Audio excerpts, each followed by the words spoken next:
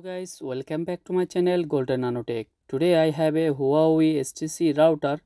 This home gateway model number hg658v2 model. And now i will set up this old model router as a access point wi-fi.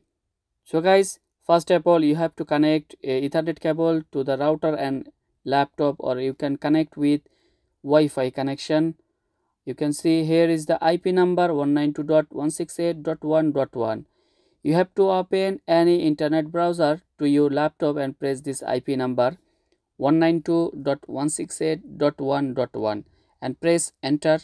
After that you can see like this the username and password. You can see username and password in your router is admin admin. You have to press the admin small and password is also small admin so you can see i type admin username and admin password and press enter. And here is asking for modify. You can press maybe later. And after that you can see like this way in your uh, computer screen and go to the home network.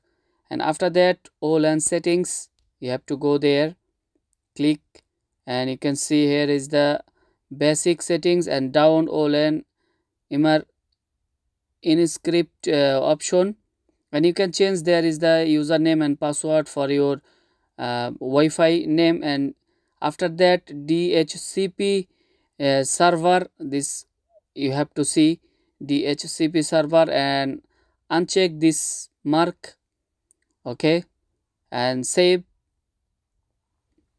Okay after that uh, you have to go back uh, in the LAN uh, interface uh, SAF ID settings and press the 192.168.1.1 you just change the one put the 5 or any other word and press ok.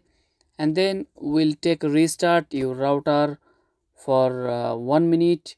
And after that you, you put the uh, ethernet connection to your router. And then you can see your router is working perfectly.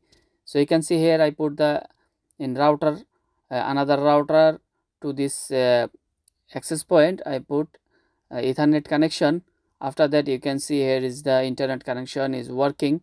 So there have four port in the STC router. You can use uh, number one port landline and it will be work perfectly to your computer. In the Wi-Fi connection now you can see I check Wi-Fi and working very good. So guys if you help this video please like share and subscribe my channel. You can see i put the land number one and wi-fi is working perfectly